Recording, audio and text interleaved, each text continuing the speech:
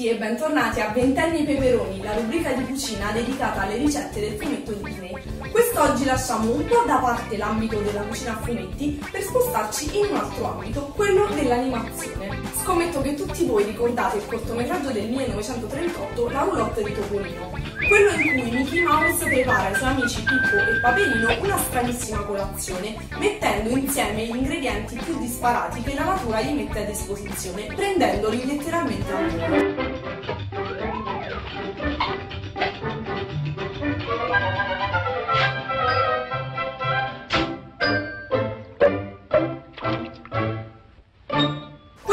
Cortometraggio mi ha sempre divertito moltissimo e ho sempre sognato di fare colazione allo stesso modo di Topolino, Pippo e Paperino, per cui oggi andremo a vedere come preparare insieme la colazione della roulotte di Topolino.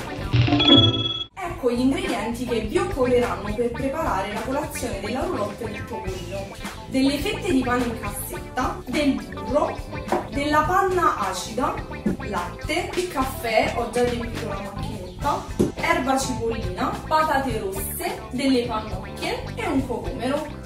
Le patate che Topolino prepara a Pippo e Paperino nel cortometraggio non sono nient'altro che patate alla bavarese o patate al cartoccio. Sono davvero molto semplici da preparare. Innanzitutto laviamo le patate, non le dobbiamo sbucciare. Prendiamo della semplicissima carta argentata e andiamo ad avvolgere una a una le patate all'interno della carta argentata. Stringiamo senza pressare troppo e andiamo a inserirle nel forno preriscaldato a 200 gradi centigradi per circa 60 minuti. Mentre le patate sono in forno possiamo procedere con la preparazione della farcitura. Andremo a farcire le nostre patate utilizzando della panna acida e dell'erba cipollina. Semplicemente mescoliamo l'erba cipollina con la panna acida aiutandoci con un cucchiaio Mentre le nostre patate si stanno cuocendo nel forno, teniamo la nostra panna acida nel frigorifero per mantenerla ben fredda.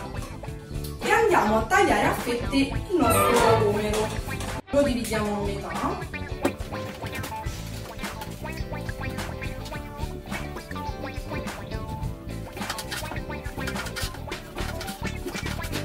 E lo serviremo le fettine su un piatto. Per quanto riguarda le pannocchie, andremo a cuocerle in acqua per circa 10 minuti. Queste sono già precotte perché ovviamente non è periodo di pannocchie, quindi non sono riuscita a trovarle fresche. Le andremo a cuocere in acqua proprio come fatto Polino nel suo cortometraggio. Mettete le pannocchie a bollire in una pentola e lasciatele cuocere per circa 10 minuti. Nel frattempo potete iniziare a preparare anche il caffè. Dopo circa un'oretta all'interno del forno le patate dovrebbero essere cotte. Per capire se sono effettivamente cotte potete bucarle con una forchetta. Se la forchetta entra senza problemi significa che le patate saranno cotte. Andiamo semplicemente a tagliarle a metà, fate attenzione a non scottarli mi raccomando, non fate come me.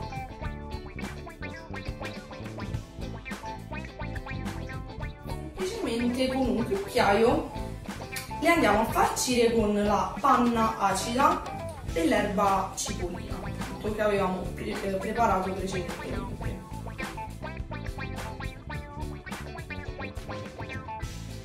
Appunto, le vostre patate saranno pronte per essere mangiate. Prima di gustare la nostra colazione, come ultima cosa andremo a tostare in padella le fette di pane in cassetta e successivamente a cospargerle con un velo di burro. Ed ecco la nostra colazione della roulotte di Topolino pronta per essere gustata.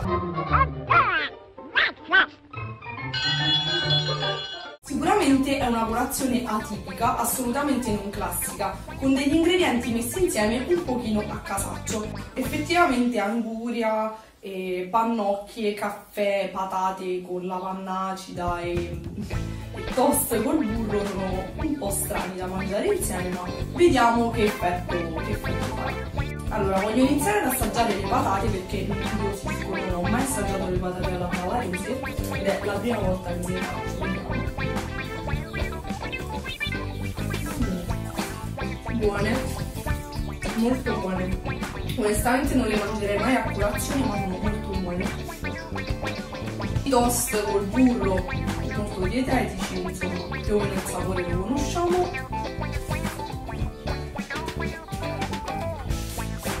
Non ci azzecca niente con le patate, però buone. ora mangiare le pannocchie è proprio un mix di sapori assurdo.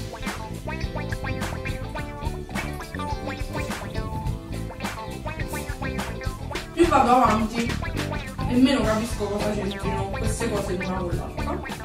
Però buono. L'anduria dopo le pannocchie, non avrei mai creduto nella vita di mangiare un'anduria dopo una pannocchia buona, però non c'entra davvero nulla. È una colazione molto particolare, però ci sta come esperimento. Sono contenta di averla finalmente assaggiata perché è una cosa che sognavo di mangiare fin da quando ero piccola. Se doveste decidere di replicare anche voi questa colazione, di mangiare queste cose strambe, fatecelo sapere, mandateci una foto. E grazie per aver seguito questo nuovo episodio di Peperoni in quarantena, ci vediamo alla prossima puntata.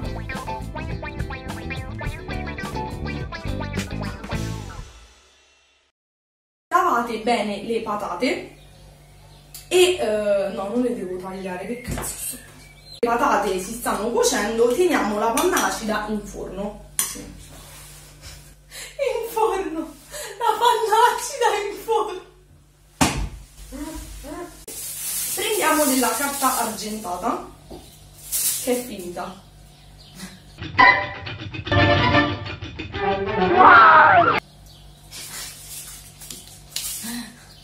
Ma ce ne abbiamo un'altra comunque. Per preparare la colazione della roulotte ci serviranno...